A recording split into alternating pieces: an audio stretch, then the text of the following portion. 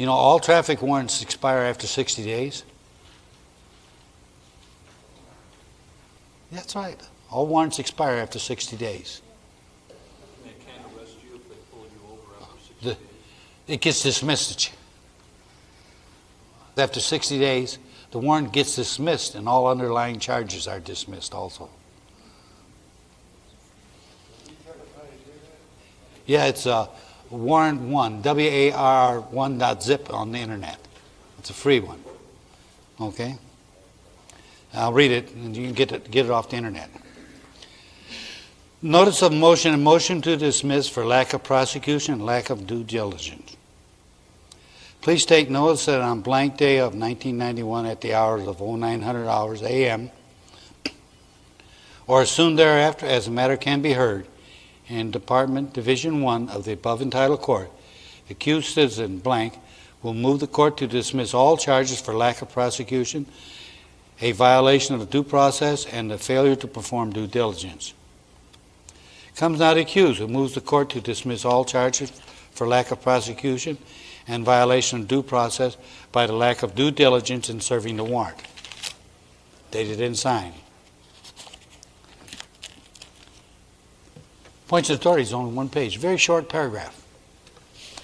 The accused has been available for service of process at all times.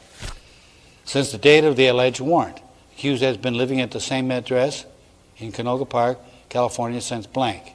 He has been a property owner in the area since blank. The accused is well known in the community and a local property owner.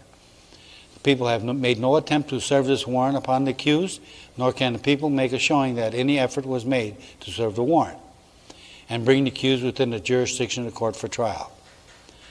Such inaction is an unreasonable delay, as the accused has been available to service of process. This warrant was issued on blank, and this constitutes a violation of the speedy trial rules. It would be most unreasonable to hold a delay of uh, four months, five months and serving the warrant constitutes due process. The California Appellate Court stated, thus it appears that the constitutional requirement of a speedy trial requires that a defendant be served with a warrant of arrest within a reasonable time after filing of a complaint. And that court case is Rost versus Municipal, R-O-S-T versus Municipal, 184 Cal App, second, 507. Repeating, 184 Cal App, second, 507. The Ross case involved a delay of approximately 140 days. This court has also held that a 60-day time limit was imposed upon the serving of a warrant. Wherefore, the accused moves the court to dismiss the charges respectively submitted. Very simple, little three-page document. And you get rid of your warrant and the charges.